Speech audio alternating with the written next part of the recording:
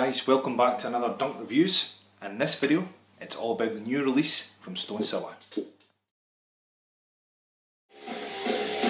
Yes guys, if you remember the, I think it was the end of last year I did a video where I counted down from 10 to 1 of the most anticipated rock and metal albums coming out in 2017 and I put this album, Stone Sour's new album at number 1 the most anticipated album of 2017.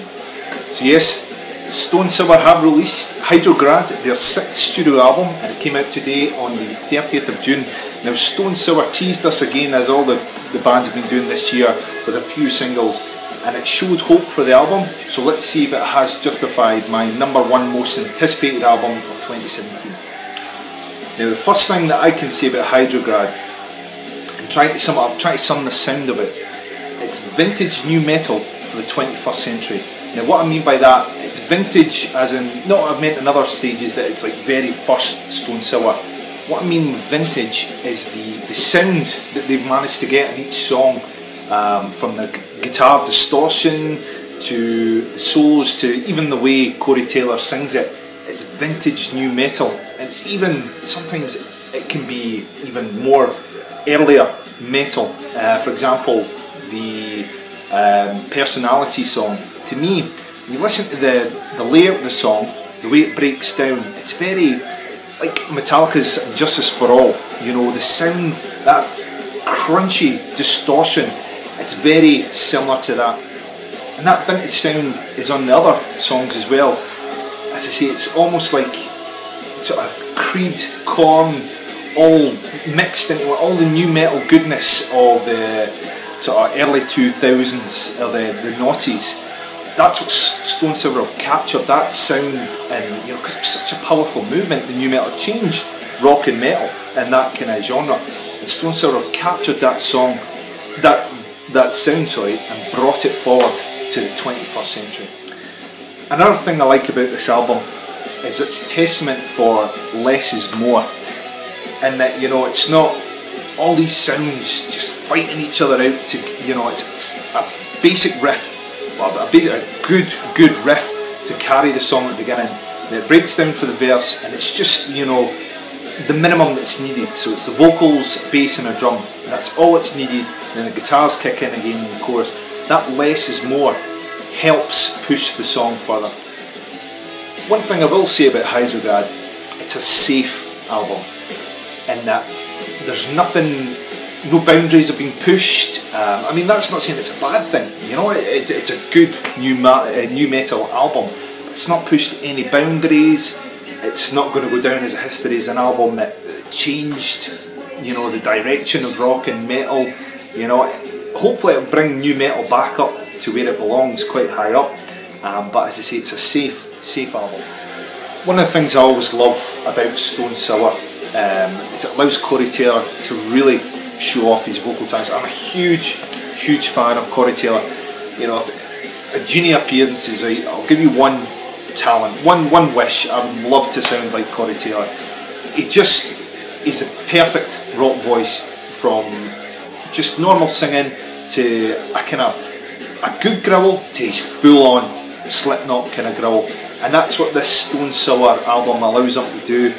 Uh, you know, it, it, goes through all the, the ranges. You know, even there's a song St Mary, which is kind of country style acoustic. Um, again, it just is so powerful and so everything he does is perfection. And that's what this album really shows is his true vocal range. What I think this album will bring to the rock and music community is, I think it's, it's Stone Sour a band that kind of everybody likes. I've, I've never heard anybody apart from Chad Kroeger maybe, say a bad word about Stone Sour. And I think this album's just going to further their reputation.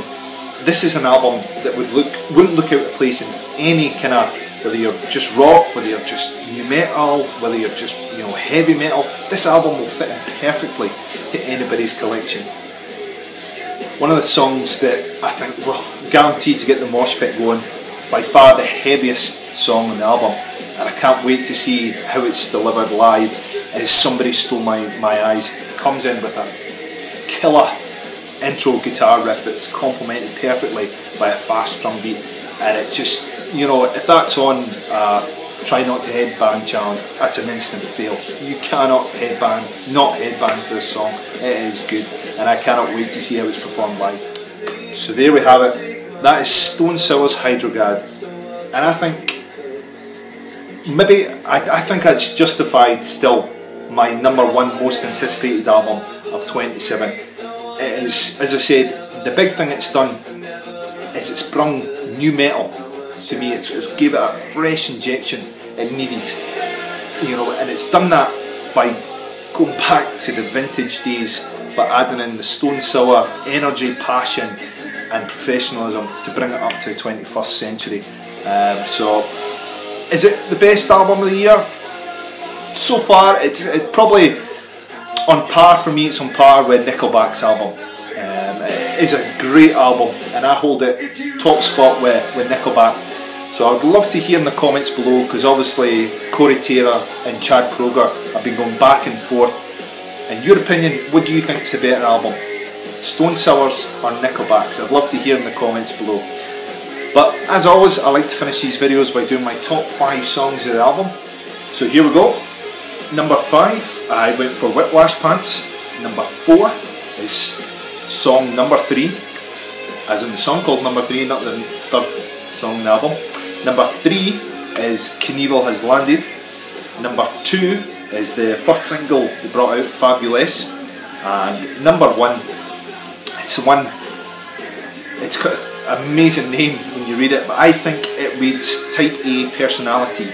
That's how I interpret it. Now, I say, going back to the, my third choice, Knievel Has Landed, that was a song for me was, I was talking about that vintage riff that carries all the way through the song. And number one that I've chosen, Type A personality, that was one that had the strong links for me for the Metallica's and Justice for All. The, the sound of the distortion, the way the song carries out, you know, the breakdown into the bridge, the heavy part at the end, um, with the you know the, the drumming and the guitars just building up, building up, building up. Um, so that was for me. Type A personality is the number one for me. So there you have it, guys. If you like this, please give a like and subscribe to my channel. I try to keep you up to date with everything rock and metal. So until next time, cheers.